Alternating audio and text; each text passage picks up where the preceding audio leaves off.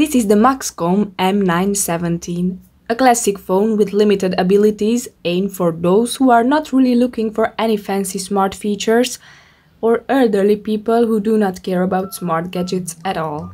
As you probably can see, it has a plastic body, which is not the best quality, but compared to the price, it's acceptable. The weight is 124 gram, which is quite heavy in this category because of the battery. It has a robust design which can help to survive many accidental drops because every phone lands on the ground sooner or later. Here is a quick sneak peek into the main menu grid.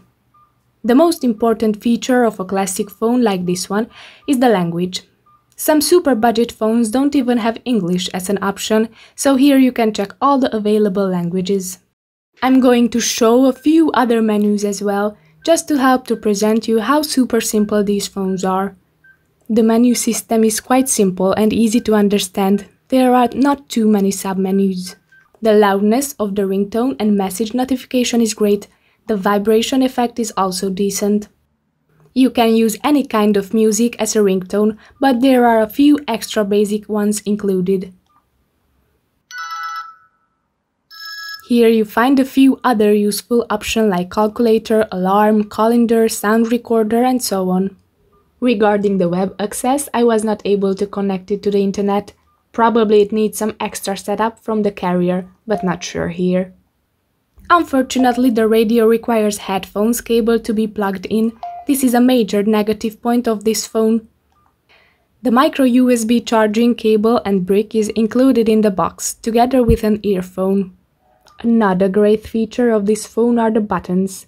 These are well placed, separated from each other, so it's easy to identify them even in dark. And each of them has a backlight, so no worries. This is a pretty big phone to be honest compared to similar classic phones. It's a massive weight, 124 gram, and it's 130 by 59 by 20 millimeter. The weight is because of the extremely big 2500 mAh battery and the thickness probably to stay more secure in any hand. The main body is from plastic with some rubber elements. Unfortunately, the side dotted part does not have any rubber in it, so not extremely grippy but still stays secure in any hand. It has a 2 megapixel camera, so it's a pretty basic one, unusable in nearly any case. Maybe if you really need to take a photo of a document or something like an accident, it could be used, but the resolution is pretty low, so do not expect quality, especially on a bigger monitor. Be aware of taking photos in low light. The camera has a built-in flash, but the result would be blurry if you do not have enough natural light.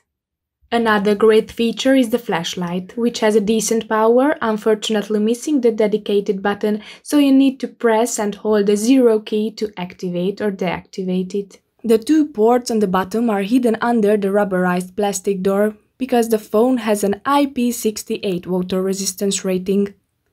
Of course, no one recommends to go and swim with it, but it can resist some water spill or if it gets wet in your pocket in a rain shower. It has a second SIM option and also a micro SD slot up to 32 gigs, so you can extend the internal memory if you really want to. Compared to other classic phones, it has a large 2.4 inch screen, but the resolution is extremely low, 240 by 320 pixel, so you'll be definitely able to see the pixels. Considering that is a budget phone with decent screen size, great buttons, outstanding battery life, it's not that hard to recommend it to anyone who is looking for a phone for any older person. Probably won't fit for those who already had a smartphone. I'm going to give this a 4 star rating, but it's a great phone in overall. Just has some smaller cons, which probably are crucial for ones, but perfectly insignificant for others. Thanks for watching, hope it was useful. See you in the next one.